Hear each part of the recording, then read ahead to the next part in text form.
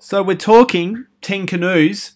Uh, this is a Rolf de Heer film, um, which I'll talk about in a couple of minutes. I mean, the, the thing uh, that you need to know about the film is it's not this dreary, um, overly serious film. It's I mean, it's a comedy. It's about a group um, or this community, and they're essentially shit stirrers. And the thing about the film that I'm interested in talking about is that it it it's a, it's a comedy. It's an Australian comedy, and it actually uses uh, the tropes of the Australian comedy um, across its narrative, and that's very important to think about. And it's the really the way I want to talk to the film that it's not just this you know indigenous film that is put with all the other indigenous films. Um, although you know, it very much is an indigenous film. Um, but but you know, it, it's very much um, a comedy, and I'm just interested to know whether you like the film, uh, whether you laugh at the film, whether you think the film's good. The problem with um, indigenous films is often audiences become very nervous in assessing the film or um, making comments about the film, and I'm very much um, of of the thinking that in order to really celebrate one film and really like one film, you've actually got to say if another film doesn't work. You know, David Stratton, Australian film reviewer. I mean, he sort of says, "Oh, well, I'm I'm very positive about all Australian films, or I'm, I'm you know more positive than say films from other countries." And I think that's a real problem because if if he's saying that, well, how can we believe anything he says? Because if he says that one film, Australian film's great, it's like, well, are you just saying that because you want to support Australian films? And are you really supporting Australian films by saying that? Anyway, um, so you know, be honest with you know your responses, um, and I'm interested to know what you think. Now, uh, here is on the on the right of screen is the Australian poster, and um, the tagline uh, was 150 spears, 10 canoes, three wives, trouble. Which sort of sets up the whole idea of the film is a comedy. And um, this is on the, the left hand side is the UK poster. It says 10 canoes, which is actually the, uh, the tagline 10 canoes, 150 spears, and three wives.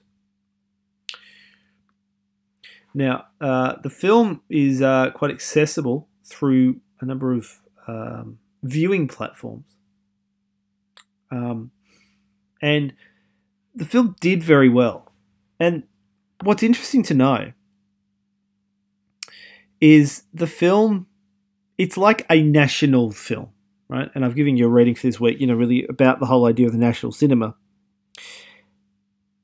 And it is a national film in a certain degree, but it's a film that tra- you know translated really well overseas, and that audiences really liked, um, and they responded to really well, and it won a number of audience awards. You know, that's when the audience get to vote on the film that they really like at, at you know at a festival.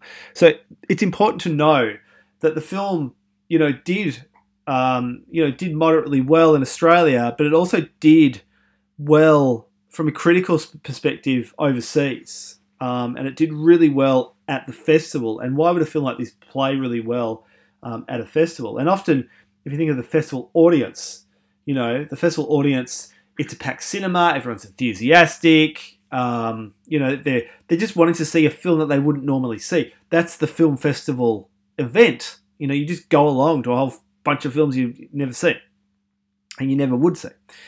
And I think that's what you know. That's why the film does really well. Um, festivals. Now, uh, Rolf De is worth talking about because um, so this is a list uh, that was just released. This is um, top, uh, you know, twenty five films, even though you can only see twenty four of them. Um, you, you, the best films of this century, and uh, well, Fury Road number one you know, that's no surprise. I don't know why Animal Kingdom's there because I've never really. I really think it's a terribly overrated film. Uh, good to see um, Samson Delilah, which is actually a terrific film. If you you know to watch that film on the big screen, you really get the greatness of that film. Uh, Chopper, of course, is absolutely wonderful, and the Babadook is it's good to see Babadook there. Um, now we're off to here.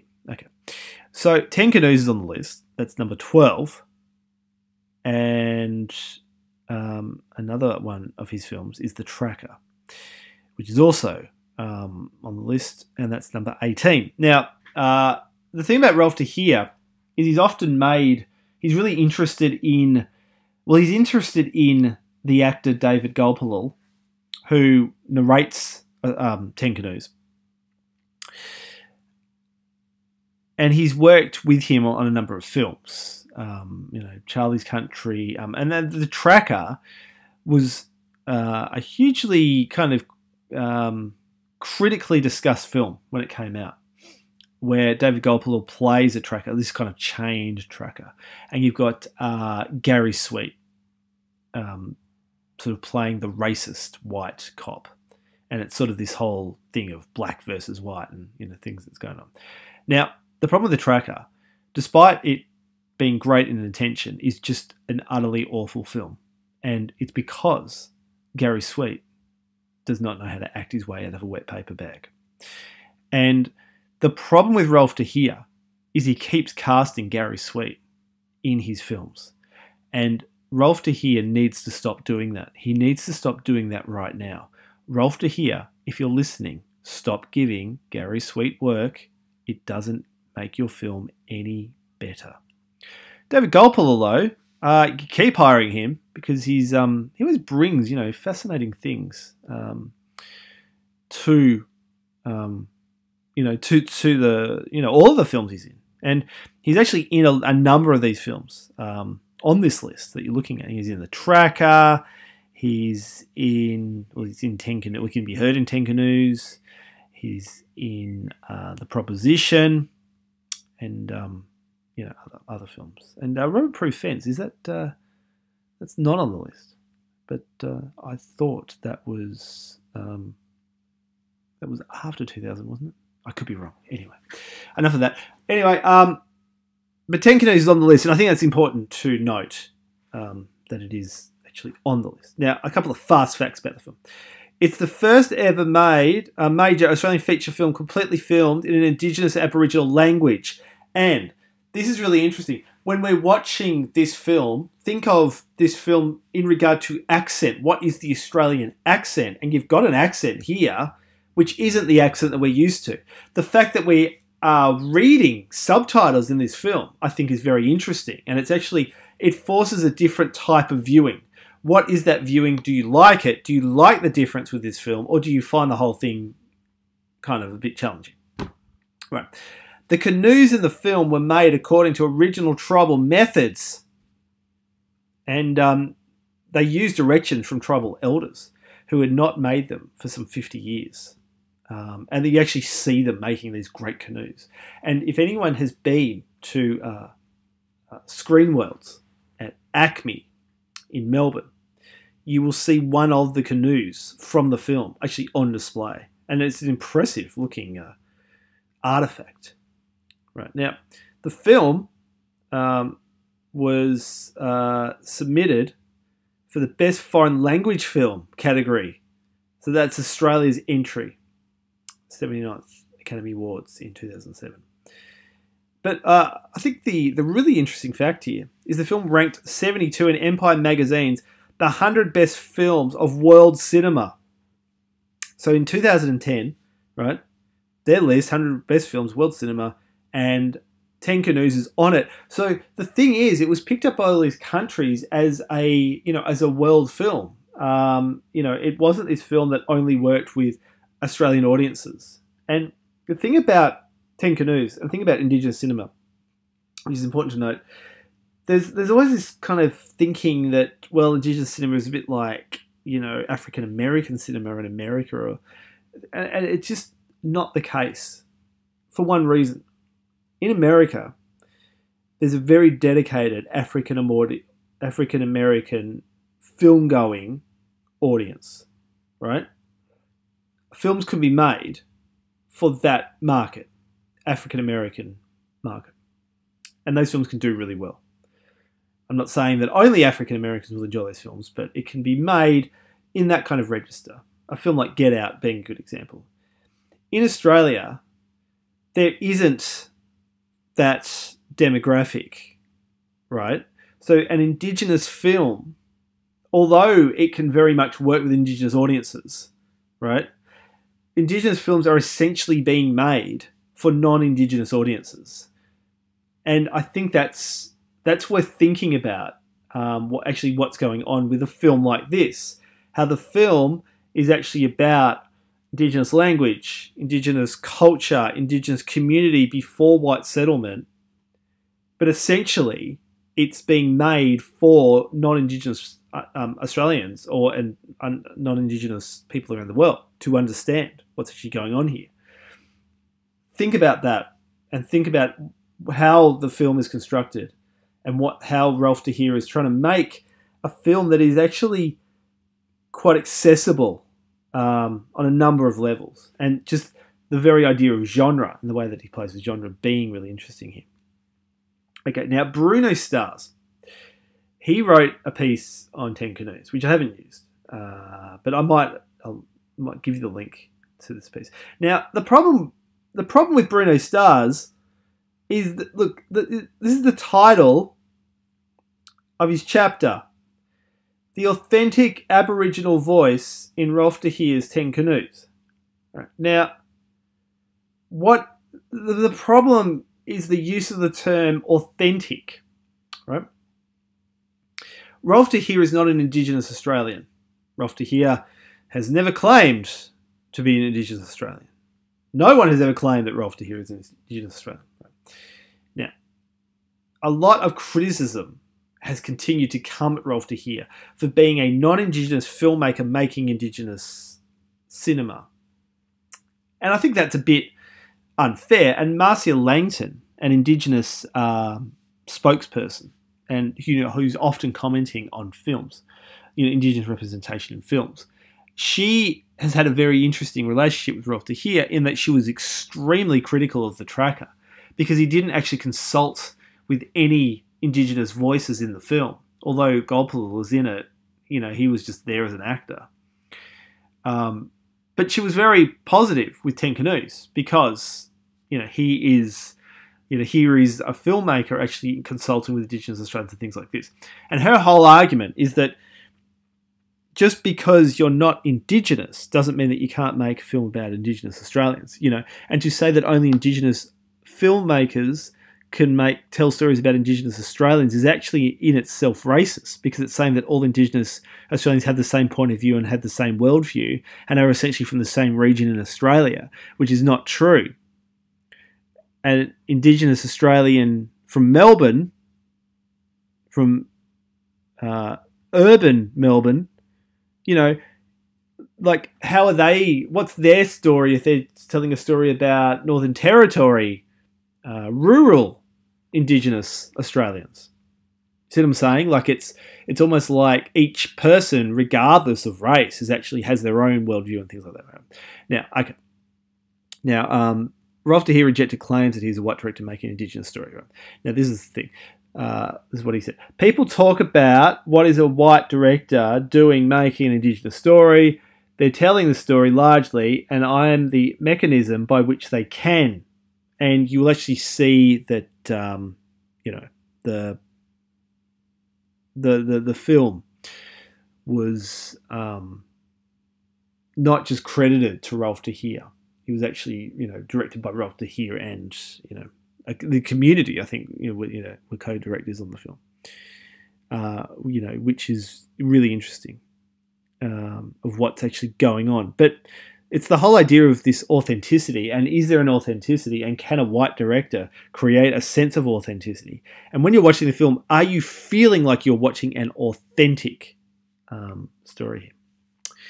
Uh, which is worth uh, having a think about again. And um, the, the you may be thinking I so you know it was nominated for an academy award. That must be the only australian film ever nominated for Best Foreign Language. Well, that's actually not true. A Floating Life, which is a Clara Law film, which is sort of this Asian Australian film, and um, Spagnola, La Spagnola, which um, you may have guessed is a Spanish film in Spanish language. Now, uh, the international response is interesting. Um, now, David Stratton, he said magnificent. Well, we're not going to listen to David Stratton because he thinks every Australian film is magnificent. So um, we'll leave David Stratton there. Um, but Variety um, from America, Anthropology and Entertainment are marvellously married in Rolf de Heer's Ten Canoes. The first feature in an Australian Aboriginal language feels authentic. There it is again. The term it feels authentic uh, to the core, as it tells a cautionary tale set a thousand years ago. So, um, well, he says it. he's not saying it is authentic. He's saying it feels authentic. Uh, so when you're watching it, do does it feel authentic? Uh, Entertainment Weekly, a marvel of warm collaboration and shared jokes about husbands and wives shot both in dreamscape colour and pristine black and white. Okay, so I mean, the film does look great. It's worth seeing on the big screen. Washington Post. It's a mixture of wisdom and whimsy exemplified by the movie's unnamed and occasionally cheeky narrator. Now, that cheeky narrator is David Gulpilil. Makes an Australian movie feel as timeless as it is timely and instead of feeling dutifully cultural as we immerse ourselves in this story, we're genuinely intrigued, touched, and even amused. Thank you, Washington Post. I mean, the, the point I'm trying to make here is that people overseas really enjoyed the humor of the film, right? And they really went with it as a comedy. So the question is, are you actually going to go with it as a comedy?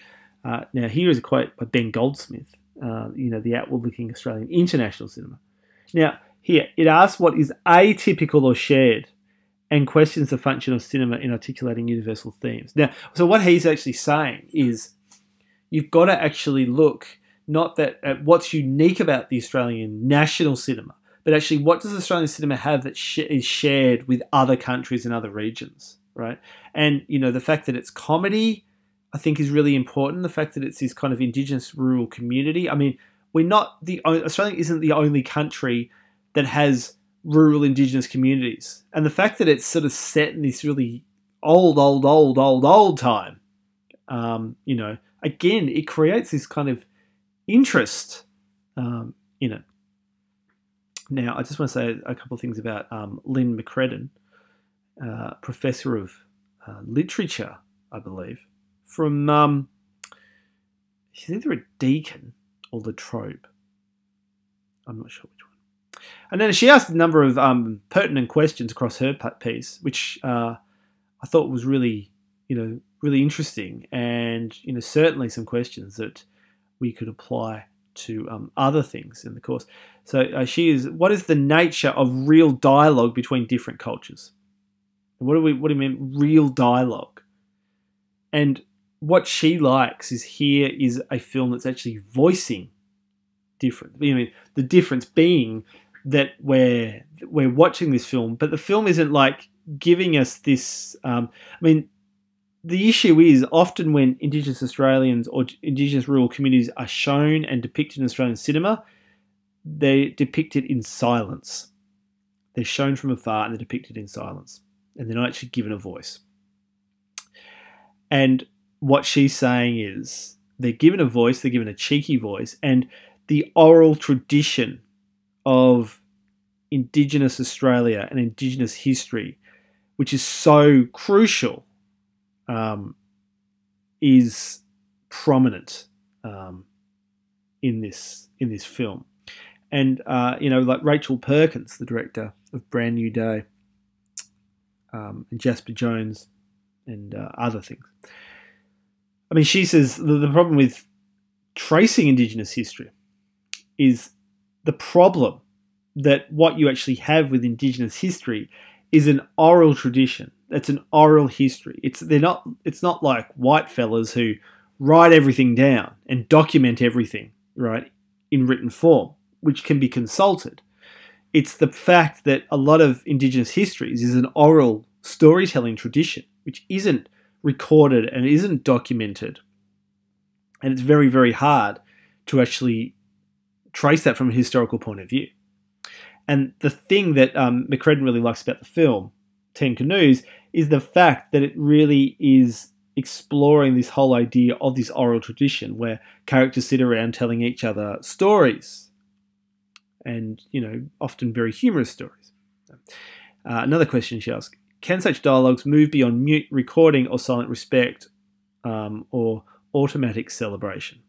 Which, again, another interesting question. Another question Can they enter a new space of dialectical relationship in which different cultural perspectives can be fully investigated without making the other culture a static or oversimplified or iconic abstraction?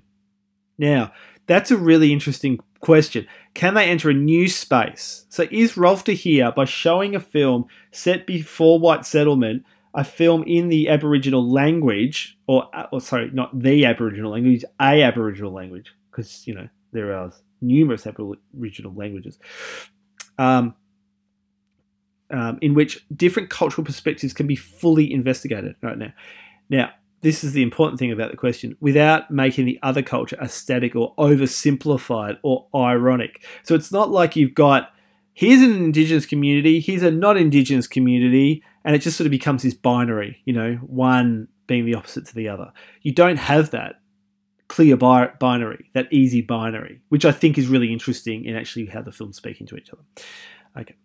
Um, and she concludes uh, her piece, great piece, which is the reading for this week. Uh, the film does make us, the film does make us confront difference and examine our own technologies and processes for engaging with that difference. So, Indigenous Australia is, you know, is different to you know, how many of us are watching Australian films because we're not Indigenous, right? The film does make us confront different and ex- difference and examine. So it's confronting in that we're facing difference and examine our own technologies and processes. So how do we actually engage and understand that difference in a film like Ten Canoes?